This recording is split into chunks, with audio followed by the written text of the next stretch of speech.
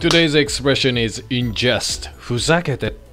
The vice principal damaged the power cables in jest 教頭先生はふざけて送電線を破壊したもうやめて首首